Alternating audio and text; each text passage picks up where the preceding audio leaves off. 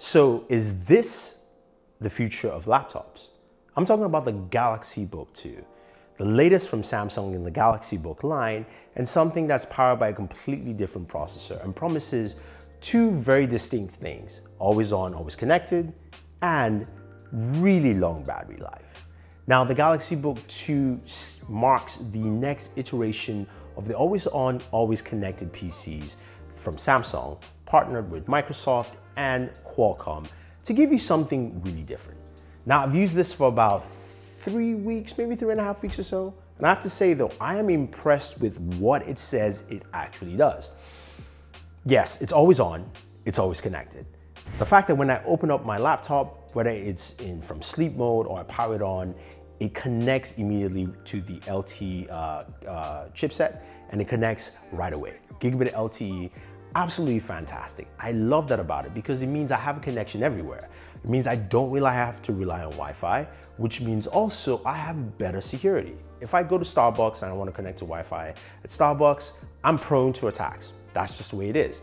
I could be prone to attack connected to my buddy's Wi-Fi uh, in this place. If they have a terrible password and you use password as the password. But since this is my own LTE connection, it's golden. That is really key. And that's something we don't stress about because it's something we really haven't thought about. We've not had a laptop that's taken us to that point where we can go, yeah, I can just open it and use. Galaxy Book does that. Now you're saying, okay, Thunder, this is cool. There've been laptops in the past that do that. But what else is different and special here, right? So you've got an AMOLED display. It's 12 inches, looks absolutely lovely. Bezels, though, a little thick, Samsung. You guys are masters of trimming that down. I know, I know. Shouldn't be talking about bezels, but I can clearly see it here. Uh, the keyboard case cover comes with it as well, which is so it's packaged in together with the pricing. We'll get to the price in a second. Keyboard is a little bit on the flex side, but it is it's fully functional. It's a backlit keyboard, which is nice. And also you've got some really just good functionality on there with that touchscreen as well. In terms of ports, you've got two USB Type-C ports, two, one to charge, one for data transfer, which is nice. A headphone jack, and you also have your LTE uh, SIM tray as well as your micro SD card expansion. Internally, you're looking at a Snapdragon 850 processor from Qualcomm. This is the first time the uh, Snapdragon processor to me feels like it can handle PC computing on, uh, on the Windows uh, machine, which is really nice. That processor gives you, of course, gigabit LTE, the extended long battery life they stated. Now, it's paired with 4 gigs of RAM, 128 gigabytes of storage. I don't like it. 4 gigs of RAM is just not enough. I think it needs more because when I started doing a lot of work on there, uh, having a lot of tabs open, documents, have video, it started slowing down a bit. I needed more RAM. So hopefully we have at least a SKU that has more RAM in there. And 128 gigabytes of storage, uh, to me for Windows 256 should be the starting point there. But that being said though, you have that all combined together. How is the battery life? So I've taken a bunch of trips the last month, as you guys have seen in October. Um, I went down to Austin, Texas. I used it there for three days, didn't charge it, lasted me. I came back, then I also went to Boston, used it there, didn't charge it, and then finally opened it up a week later and I still have about 20% battery life left. That's how good the battery life on this thing is. Now, when you're using Windows 10S, which is what it comes with, I don't know why, Microsoft, nobody likes it. It ran really well and the battery life from that was over 20 hours, about say 21 and a half or so for me. When I switched over to Windows 10 Home, which is literally a click and boom, you're done.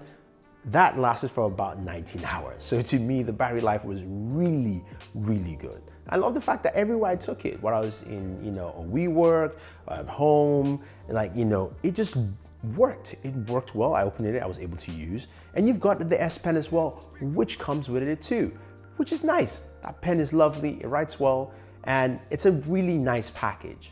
But for me, the main problem here with this device, I stated one, which was kind of RAM, my biggest issue is pricing. It's $999.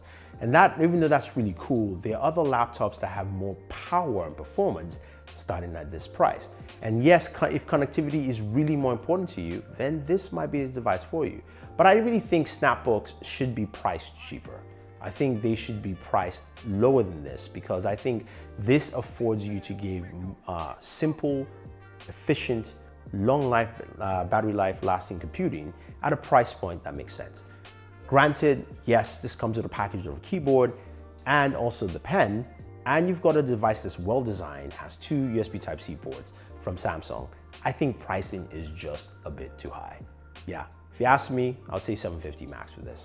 That's my own standpoint. But that being said, even though I shouldn't be mentioning that uh, in that fashion, I still think it's a really solid device. And I like what it brings and why, that's why I started by saying, is this the laptop of the future? Because future laptops for me have to have gigabit LTE connection, have to have more than 20 hour battery life. The fact that I can take this device, fly to West Coast at least three times and still have around two hours of battery life left is fantastic. Or better still, I can fly to China and still have enough juice to basically find my way to my hotel.